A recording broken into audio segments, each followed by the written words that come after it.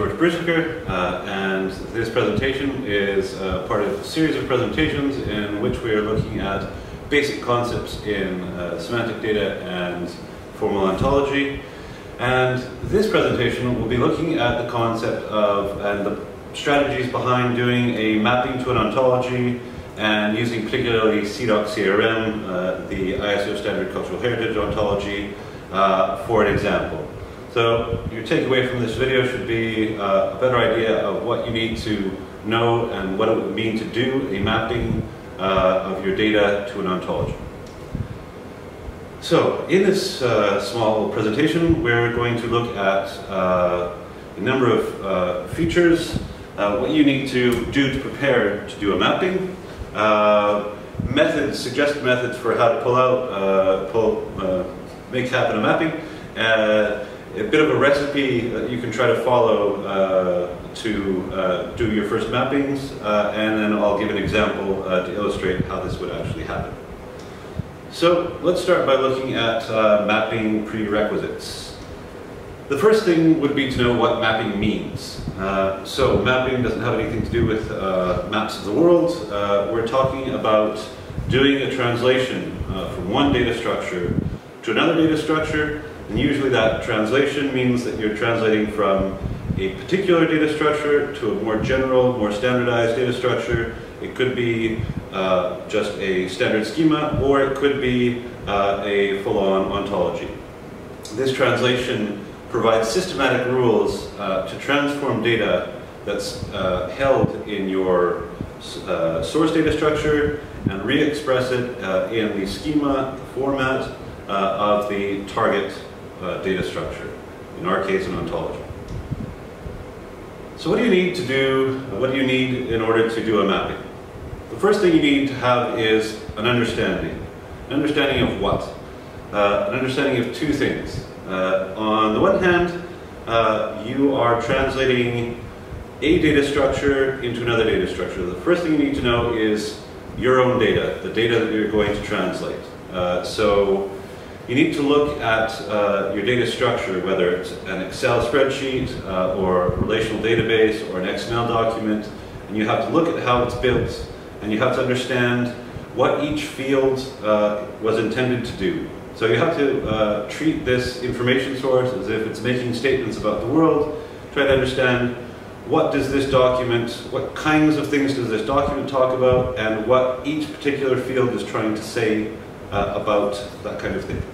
Then, on the other hand, you need to know uh, the target uh, that you're trying to, the target structure you're trying to map to. So in our case, an ontology. So you need to choose an ontology that's appropriate uh, for your data, and you have to uh, study that ontology so you can understand how to use it properly. Uh, so, aside from knowledge, uh, you also need some documents to start your mapping process.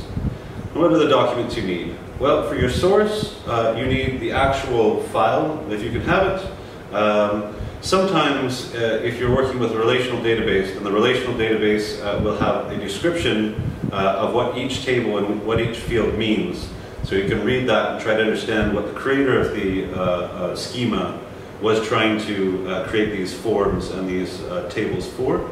Um, you really want to sample copy of the data uh, that you're translating because uh, there's often a divergence between uh, what uh, your database was designed for, uh, or what your Excel was designed for, what your data structure was designed for, and how it's actually used. So sometimes a field has this title, but people fill in information and they fill in completely different information.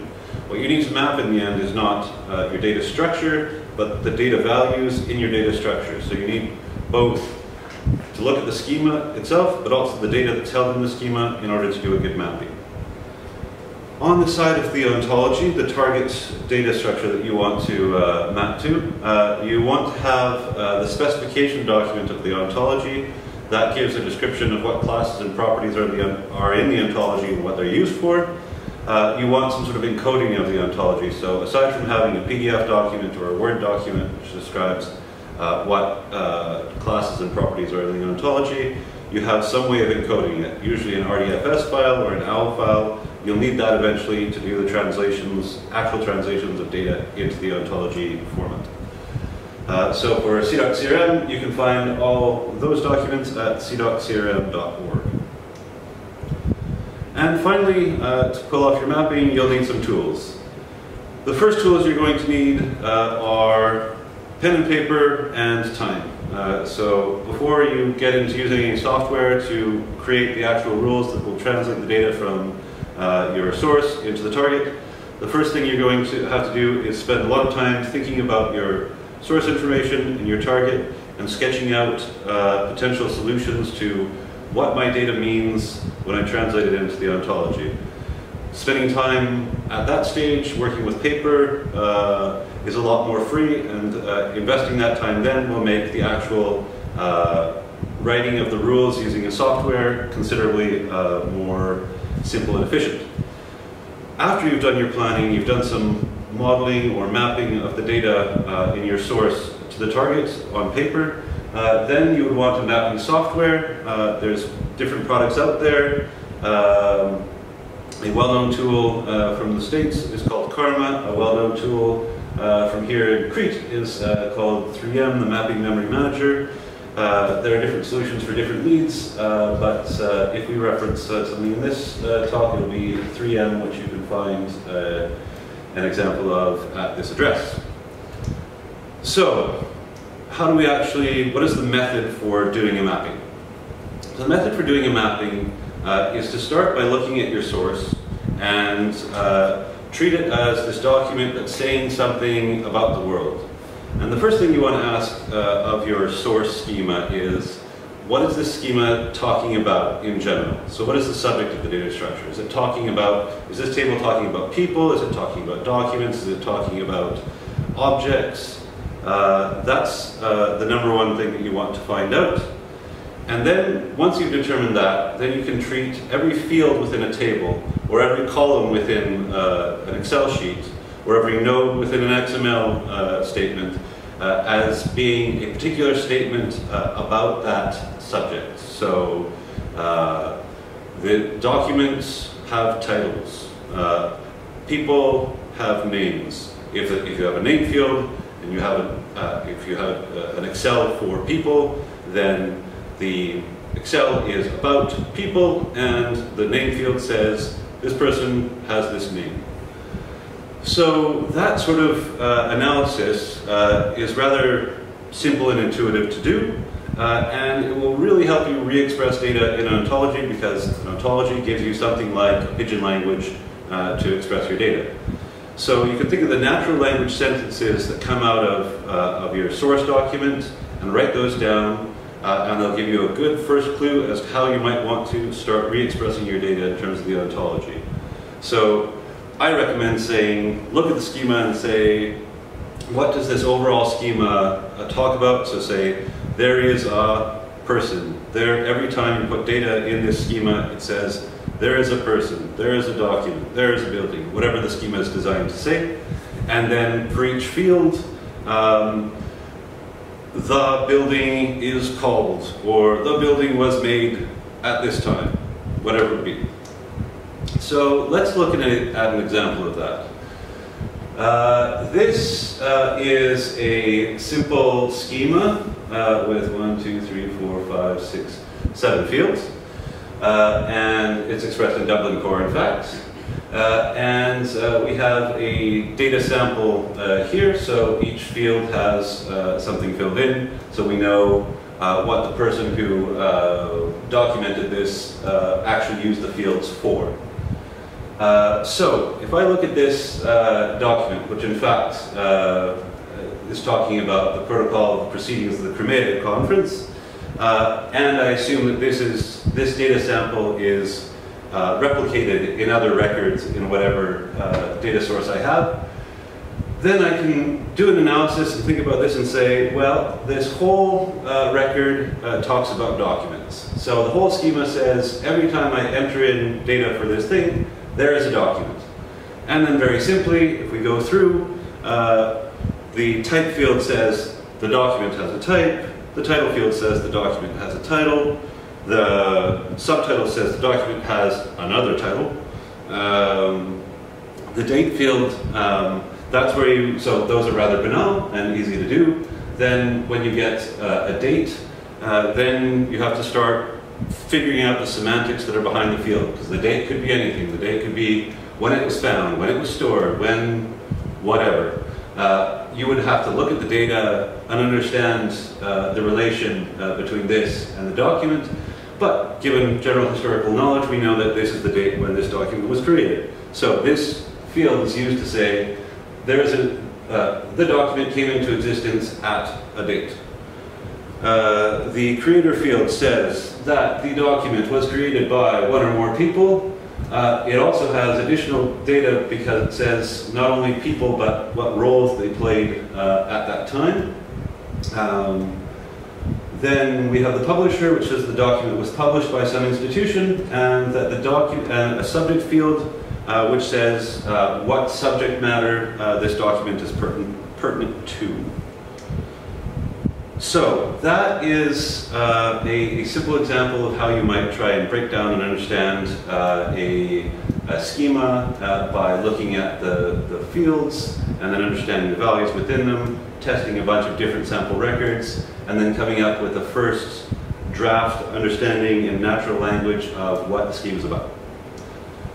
Then, uh, you should look at your uh, ontology and uh, what are the questions that you want to ask of your target ontology? And what do you want to understand about it? Well, uh, things that first you want to understand that the scope of the ontology, that is, what the ontology is supposed to cover, is relevant to your uh, domain of research. So you should look for that in the, in the specification document. Let's say that it is. Then you want to understand the basic modeling strategy of the ontology, uh, which will probably be described in the preface. Uh, and then you want to start looking at the top level classes of the ontology, because an ontology is structured hierarchically with the most general terms, the most general classes at the top, more specific data at the bottom. Uh, and what you have at the top of the ontology uh, is the most basic logic uh, and differentiations uh, which that ontology makes uh, in describing the world. So if you understand those top level concepts, then you can find the right part of the ontology to begin translating your information and then you can start, uh, and the logic that's expressed at the top will be repeated with more specificity lower down. So understanding the top, you really start to understand the whole tree, no matter how deep uh, the concepts get. So, you should look at the top level classes and you should ask of those classes, what kinds of things does this class allow me to talk about? Um, then not so what set of things in the world does it allow me to talk about? Does it let me talk about physical things? Does it let me talk about living things? What are the thing what is the class of things it allows me, the set of things that it allows me to describe? And then what does it allow me to say about that kind of thing? The question, what does it allow me to say that, about that kind of thing is by looking at the properties that it has. So a class will say, this is used to describe these kinds of things, and then it will have properties. And so it will say, with this class, you can say that this thing has a name, that this thing has limbs, that this thing has. Uh, so you want to understand what the ontology uh, class is allowing you to say. Um, then you want to think back to your source and start trying to make the map in your head between uh, that, what is this schema about, and what does it say about the thing that it's about, uh, and try and start making the connections between what the ontology allows you to express uh, and what you have in your source. Let's look a little bit at CIDOC CRM as an example. Um, so CIDOC CRM uh, is an ISO standard uh, ontology for cultural heritage, and uh, this is a, a, standard representation of the basic modeling pattern of CIDOC CRM.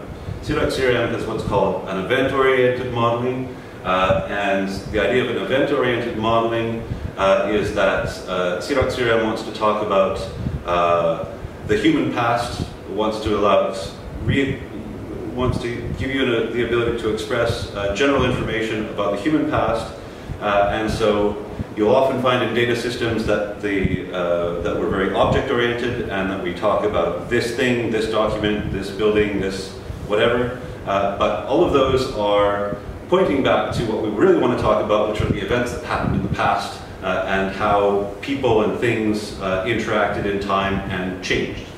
So event-oriented modeling uh, has event classes in the middle, Um, so anything that has to do with time, uh, rather than being attached to an object, so you say the document 1945, there's no, there's nothing essentially related between 1945 and a document. What you're really saying is that something happened in 1945 uh, and it created this document. So the event-oriented uh, ontology always tries to pull out the event uh, that brought something to existence, changed it, uh, re-attributed it, these sorts of things. So here we're looking at a specific example of finding the logic behind uh, an ontology that you're mapping to. So CIDOC-CRM is event-oriented, it has an event in the middle. Uh, events are the only thing that have time. Events can take place at some uh, location, uh, and then the events involve uh, either physical things, as individual real physical objects, or concepts, which are things in our mind that can be expressed uh, in objects. Uh, and physical things can exist at locations at some time. Actors participate in events as agents.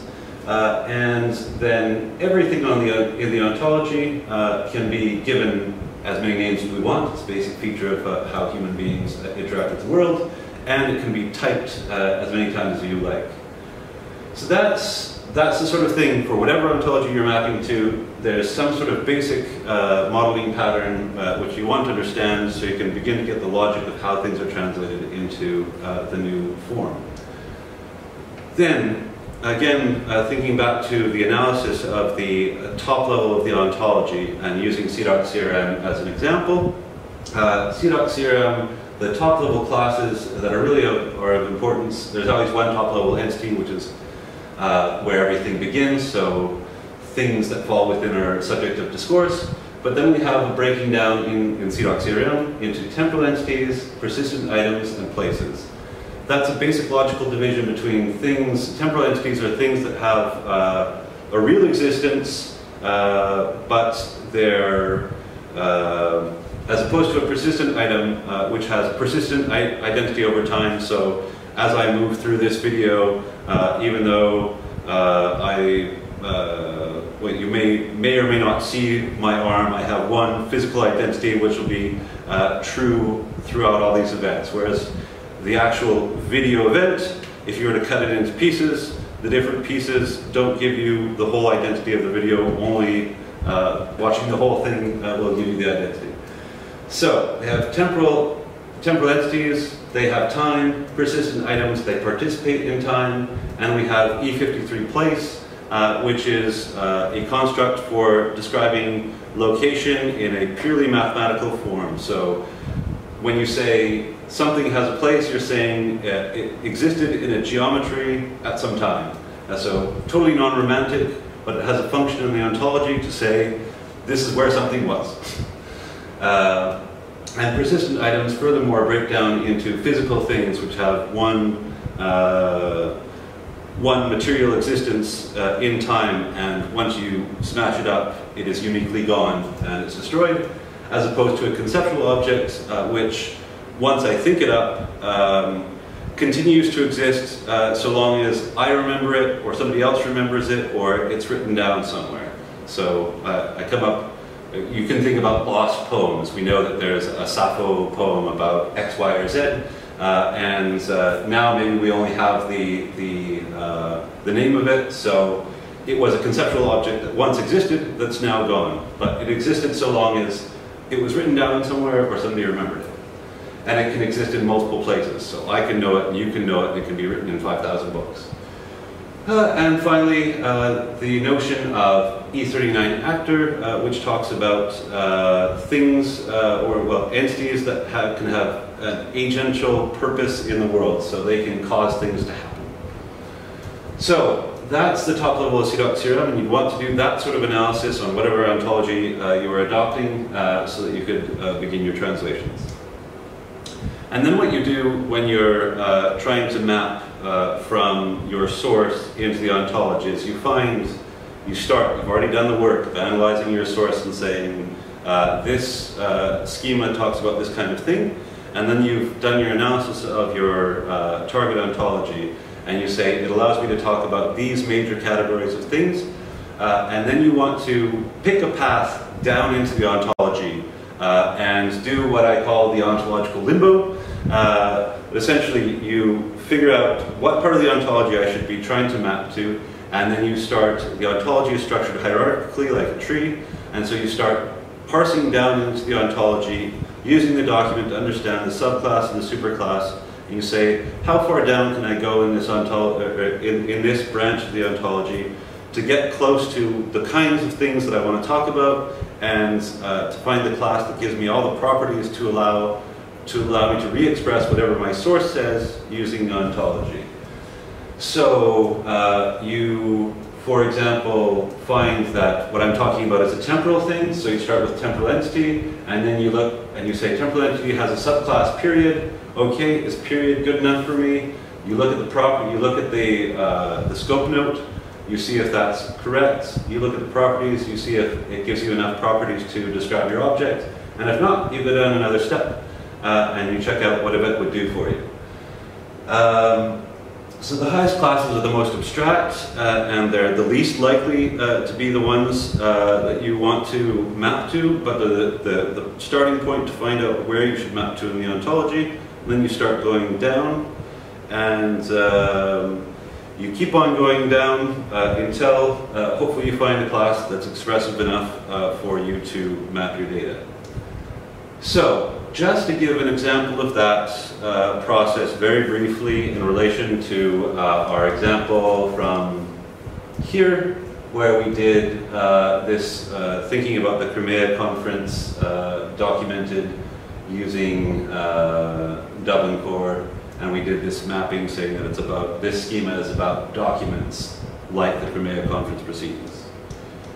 So, if that was my target, uh, and I was using CIDOC-CRM, then I could start with the very top of CIDOC-CRM, which we saw here is E1 entity, and uh, I would say, okay, can I map uh, my schema, what it's about, to the class E1 so then I would go and I would look at the class uh, scope note, which says this, this class comprises all things in the universe of discourse of the CIDOC conceptual reference model. The universe of discourse of the CIDOC conceptual reference model is cultural heritage. Is the Crimea Conference cultural heritage? Sure it is. So, is this class appropriate? Yes, it is.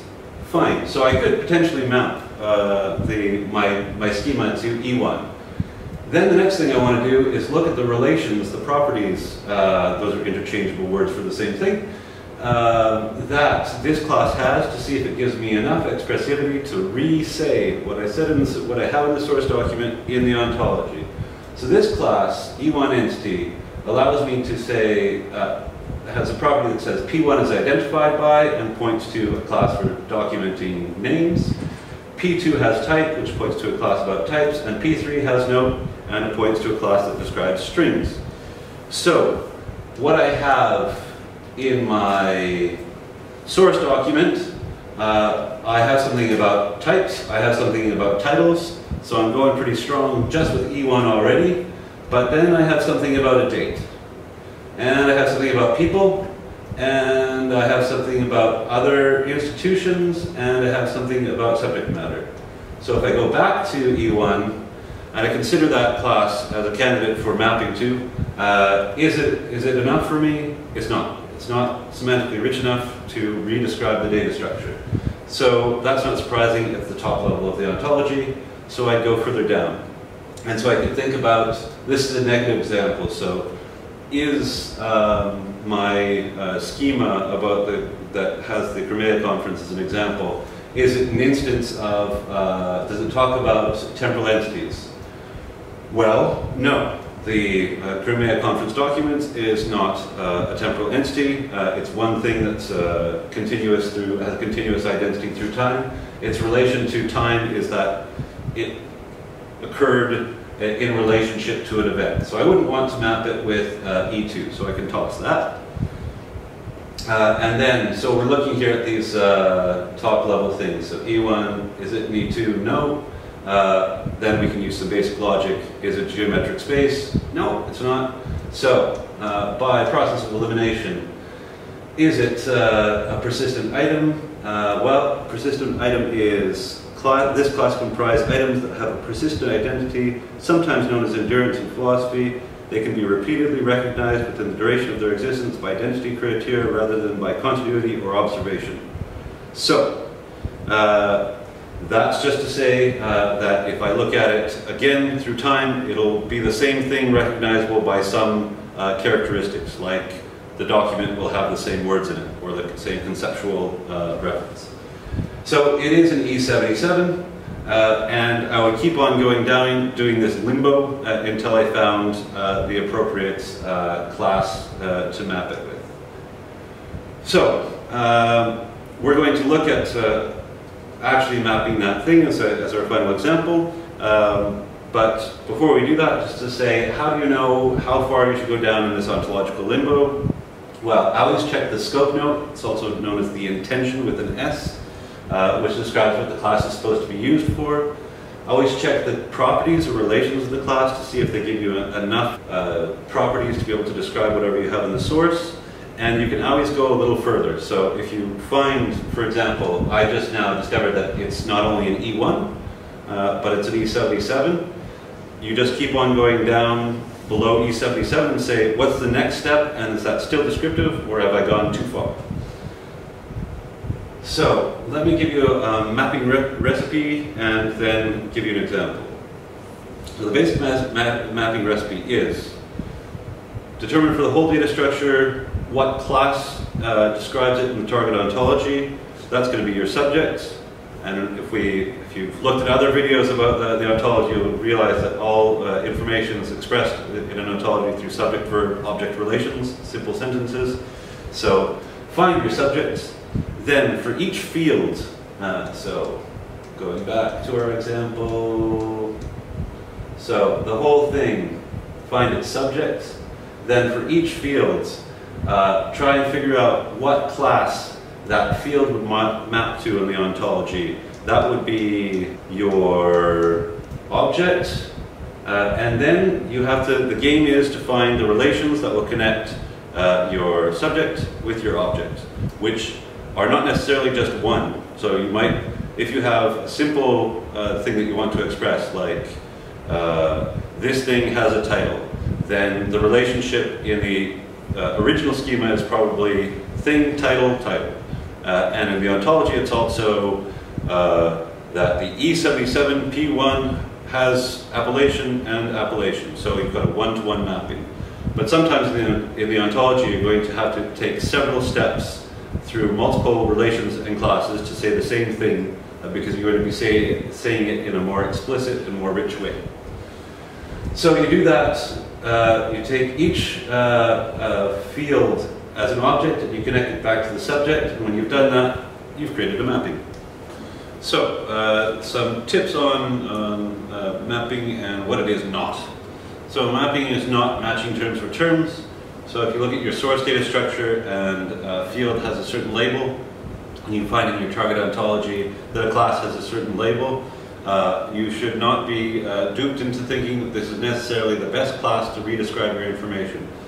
To understand uh, if you should use a class, never use just the label, but you can use it as an indicator and you can go and look at the ontology and say, is their meaning of title the same as I, my meaning of title? But the only way to know for sure is to understand your source personally, what your, your, your, your, source document really is trying to say, and then you read the ontology description, the scope note of the class to understand if you should really translate uh, that information with that class. Another thing is that mapping is not tagging, uh, so it's not sufficient just to say uh, my schema uh, is described by this class and each field is described by this class, that class, and the other class. That would be a process of tagging, but uh, the value of semantic data uh, comes through fully when you take, uh, when you express really what the original source document was trying to say using this new uh, uh, ontological language. So you not only say, my source schema, each time I have an instance of it, it's talking about a document, but furthermore, if it says uh, that it has a title, then the title maps to appellation, say in CIDOC-CRM, but the interesting information is that I say that this document has the property that it has this title. That sort of thing can be built on uh, as a network of information. You can find out who gave it the title, when it got the title, so on and so forth. So without that uh, drawing of the semantic connections between the classes in the ontology, you don't get all the benefit of uh, mapping. So that's what mapping is, translating a data structure into formal propositions using a pidgin language.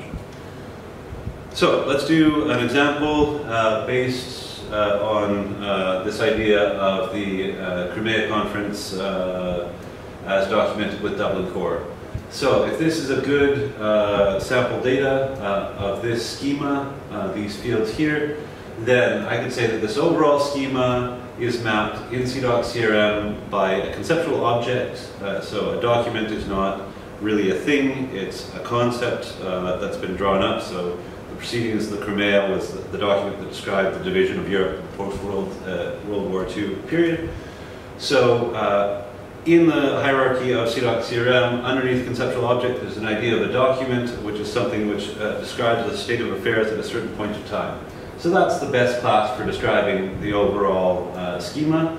Uh, and then I would look for uh, the object uh, that each field describes. So a type, there is in fact in CIDOC CRM a class called type, and it's appropriate for types. So E55 type would be a good translation titles uh, in CIDOC CRM are translated as E41 appellation. Uh, so both title and subtitle can be uh, mapped to the same class. A date uh, is translated in CIDOC CRM by a time span, so it gives a start and an end period. Uh, people uh, are translated in CIDOC CRM as E21 persons, that's a subclass of actor, E39 actor. E40 uh, is legal body uh, describes institutions. It's also a subclass of actor. And then a subject matter is again a sort of uh, typology, so we can translate it as E55 type. So that's an example of uh, me having done uh, the mapping of the subject of the overall schema and then uh, the object which each field describes. And then the game is to make these semantic connections. So uh, there uh, you would go through uh, in the documentation of CIDOC CRM or whatever, whatever ontology you're looking at, and you would find uh, the properties, sorry, that would connect, say, E31 document to type, to appellation, to time span, and so on and so forth. So uh, let's just walk through that one by one. Um, so we can start with the uh, type. So uh, as we saw uh, a few slides earlier, uh, everything in the CIDOC CRM falls underneath the class E1 CRM entity, and E1 CRM entity has the properties uh, P1 has appellation and P2 has type. So that means that every other class is a subclass of E1 CRM entity, and it means it also has those properties. So I can use has type on E31, and that would be a great way, if I read the scope note, it says uh, P2 has type means that this thing is classified by that thing. So is that a good semantic translation of uh, this field? Sure is. So E31 document has type, what kind of type? Text, that's the actual data value. Then we want to talk about the title. So uh, again, E1 uh, says that everything can have a name, and that uh, name relation is, is identified by. So I can use that property to connect my uh, protocol, proceedings of Crimea conference information. I say the title is an E41 and it's connected to the document as being an identifier for it. So if we went into the temporal entities uh, uh, class hierarchy and started doing this limbo, you can do it yourself. Uh, then eventually you'll find uh, a class called E65 creation, the point of which is to document uh, moments in time in which new conceptual uh, or item conceptual items come to be in the world.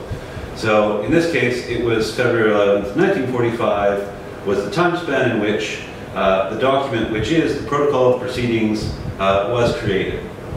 So you can see that the mapping then, here is a simple one-to-one -one mapping. So this overall schema says that the, this thing has a type, so this document has a type. Sometimes it's more complex, like when we're talking about time, where we have two steps where you say, this document was created by an event, that event had a time. Uh, then you start getting by doing that, you start being able to de develop more rich and more accurate uh, data structures. So uh, when we say that a document had a creator, or we link it to a person, well, there could be many relationships, relationships between uh, a person and a document. It could be the person documented by the document. It could be the person who published the document, and so on and so forth.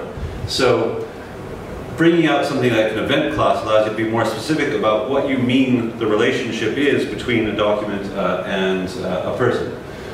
So, um, as you'll remember from looking at the schema of modeling in CIDOC CRM, uh, people uh, are agents in events. Uh, so in this case, uh, we could map, for example, that the creator uh, is the person who carried out the event of creation of the signing of the protocols that generated this document.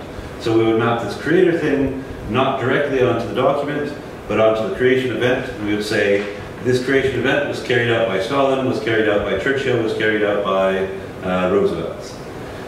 Uh, then uh, we can do even uh, fancier tricks. Uh, so sometimes you can have uh, roles, for example. So here the document missed out the facts of the actual person and just put it in the role. So now we could put we could be much more semantically explicit and we could map out the roles and say that the uh, protocols of proceeding on Crimea were created by a creation event. It was carried out by Joseph Stalin in his capacity as premier of the uh, USSR. Uh, and that's very explicit. Uh, and then uh, I'll skip over publisher for uh, lack of space on the slide. The last thing we can do is look at this mapping between the document and this notion of the subject post-war division of Europe and Japan.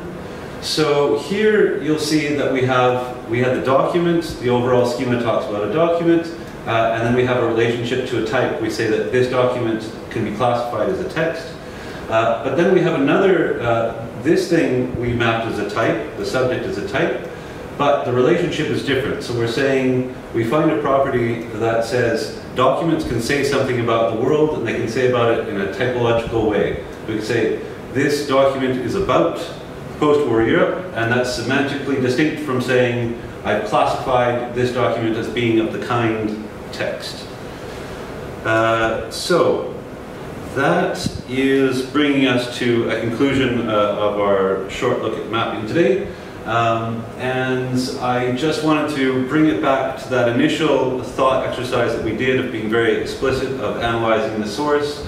Uh, so um, we have here, uh, we can take this schema and the, and the sample values uh, and we can say the overall thing uh, has uh, this, maps to this class and then we create a series of paths uh, that map this field into an ontological expression. So title becomes E31 is identified by appellation, date becomes E31 document, P94 was created by E65, E65 creation, P4 has time span, E52 time span, and then the actual date would be a value in here, and so on and so forth. So I hope that was an interesting and useful uh, analysis of how to uh, perform a mapping. Uh, you can find uh, further information about uh, CIDOC CRM uh, mapping at cidoc-crm.org, and there's my contact